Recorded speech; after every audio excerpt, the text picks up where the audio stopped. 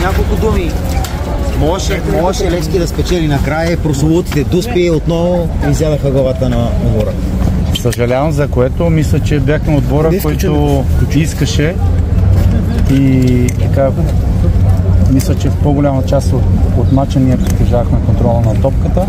За съжаление, мисля, че и ударите, които отправихме към вратата на, на ЦСКА бяха повече от толкова от тях. Но отново, наистина, това е наша слабост и лош... не лошото е, който не е бил дуста, той не е изпуснал. В Левски Най- става вече нещо като лоша традиция. Така е. Трябва да вземем метод. Какво ще става от тук нататък? На мене ми стори, че днес Калевски нямаше треньор. Топозаков още не е влязъл в час или не знам. Отбора играеше по инерция. Спомняте си, Марика 2004 година започна как беше? Така е. Всяко начало, всяко начало е трудно. Въпросът е тук, трябва да го подкрепим топчо и да застанаме зад него, което ние сме застанали вече зад него, вярваме му.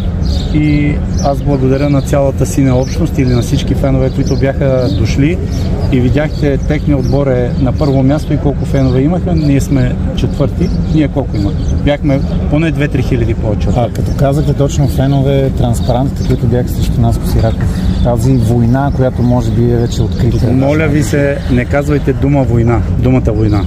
Ами, За мен война означава нещо много сериозно. Не използвате тия клише. Добре, конфронтация, защото и Наско Сираков в телевизионен интервю нарече война, но добре, конфронтация да кажем. Ами вижте, аз не искам да взимам а, тук отношения. Всеки има право, живеем в демократична държава, всеки има право да изказва своето мнение. Може ли Стоилов да стисне за Моля да завърши сезона, колкото и грозно да звучи за треньор като Стоилов. Аз до последно а, очаквах, че Мари ще размисли и ще вземе решение, дори ако е взел решение да се маха, да е след края на полусезон или на шампионат. Топче до края на сезона ли ще бъде подкрепен, за това ще мислите ли? Да. Ти да мразиш.